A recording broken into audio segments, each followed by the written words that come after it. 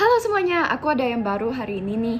Nah, kalian tahu aku suka nyobain-nyobain skincare dan dulu itu aku pernah nyobain produk serum dari Scarlett itu. Nah, semenjak itu aku juga penasaran soalnya aku juga ngeliat banyak review kan. Ternyata banyak yang bilang lotionnya Scarlett itu wanginya seperti dupe salah satu parfum mahal gitu. Jadi, uh, aku penasaran dan juga body lotionnya aku udah habis.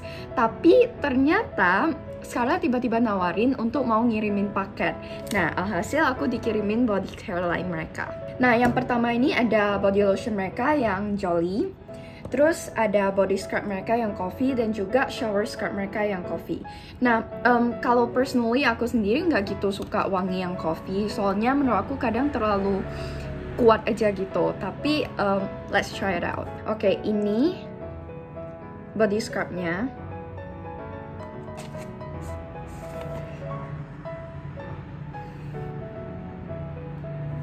It's really surprising that it's not that strong. Karena biasanya kalau misalnya wangi-wangi yang kopi, kalian tahu kan wangi kopi yang terlalu kuat gitu.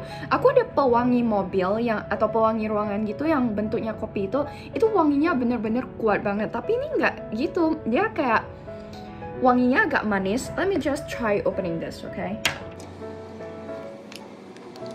I don't know why I'm so excited. Maybe it's because it's my first time, but kopi tapi wanginya kayak kalau misalnya kalian masuk ke toko bubble gitu bubble tea um, koi ya wanginya hampir mirip kayak gini. Tapi mungkin nanti aku bakal coba dulu baru tahu wanginya gimana. Shower. Ya ini kopi juga. Packagingnya di sealed. Oh ya terus pas paketnya itu datang aman banget di packingnya. Bener-bener nggak ada yang bocor. Hmm. Wanginya sama, sama-sama kopi. And then, let's see.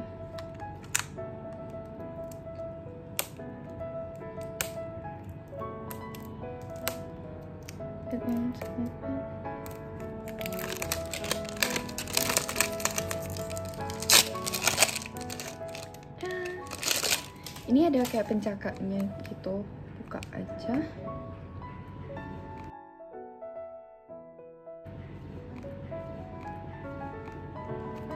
Bisa buka gini enggak atau mau tekan aja?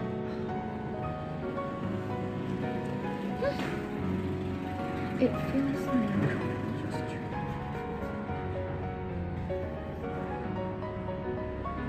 aku nggak pernah um, punya parfum yang wanginya gini tapi familiar it feels like parfum-parfum yang kalian lihat di counter gitu ada yang gini dia kayak wangi manis it's sweet tapi kayak ada musky gitu so tapi aku bakal nyobain yang scrub dulu. A little disclaimer, kalau misalnya baru pakai sekali, mungkin hasilnya nggak gitu kelihatan. Tapi yang kita mau itu kan wanginya, the feeling of using it, and also dipakai rutin.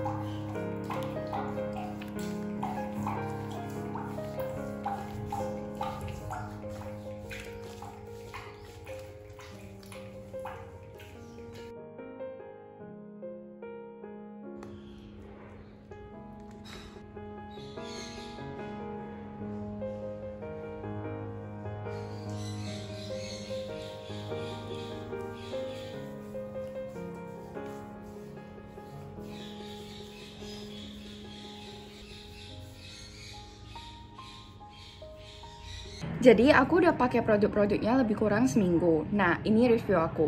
Yang pertama itu ada body scrub yang kopi. Menurut aku body scrubnya itu beda dari body scrub yang biasa aku gunain karena bentuknya itu lebih buttery. Jadi itu mungkin dipakai uh, seminggu 2 sampai 3 kali aja. Tapi beneran pas diaplikasin ke kulit itu lembut banget dan nggak usah digosok. Ya sekeras itu udah bisa kelihatan kalau misalnya kulit mati itu langsung keluar. Contohnya pas keluar mandi itu jadinya kulitnya lebih lembut dan lebih cerah. Nah, untuk yang sabun mandi, uh, itu kopinya enak banget, beneran nggak se-strong yang aku expect. Dan juga pas habis mandi itu wanginya jadi soft dan juga kopi yang manis tapi lembut gitu. Kalau misalnya kalian gak suka produk yang wanginya kopi gitu, mungkin kalian bisa cobain produk Scarlett yang lainnya. Tapi uh, aku juga sebenarnya nggak suka wangi kopi, tapi setelah aku melihat varian baru dari Scarlett ini, ternyata wangi kopinya nggak se-strong itu dan juga enak gitu istilahnya setelah mandi jadi wangi. Nah, lastly ada lotion varian Jolie. Nah, ternyata aku kan nggak ada parfum yang terlalu banyak, jadi aku kurang tahu wangi-wangi parfum gimana juga. Tapi rupanya ini inspired dari YSL parfum Black Opium mereka. Nah, pantas gitu kayak wanginya itu wangi, bener wangi parfum parfum bukan wangi body lotion gitu. Nah uh, teksturnya itu kayak buttery. Aku pakai sekarang ya. Terus kayak pas dipakein itu enggak gimana ya? Enggak berminyak gitu langsung menyerap. Look wanginya enak banget sih. It smells so good